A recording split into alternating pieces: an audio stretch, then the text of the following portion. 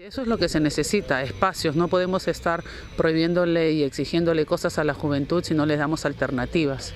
Y para la gente de esta zona, que siempre está en, temas conflictivos, que donde abundan pues eh, a veces el pandillaje, la delincuencia. Aquí los chicos tienen una alternativa para distraerse, para recrearse y para quitarse un poco de esos malos hábitos y dedicarse de manera completa al deporte. ¿no? Canchas de fútbol 7, la cancha original que está ya quedando en perfectas condiciones, tenis, canchas multiusos tipo polideportivas. Creo que es una, es una, buena, es una buena señal de que las cosas van a ir mejorando en el Callao.